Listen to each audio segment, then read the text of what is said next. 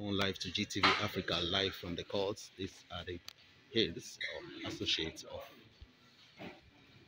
Sunday Igboho. They are already in courts, and uh, I'm sure I want to believe that they are here and hearty. And uh, you can see, a popular woman, Lady K, and others.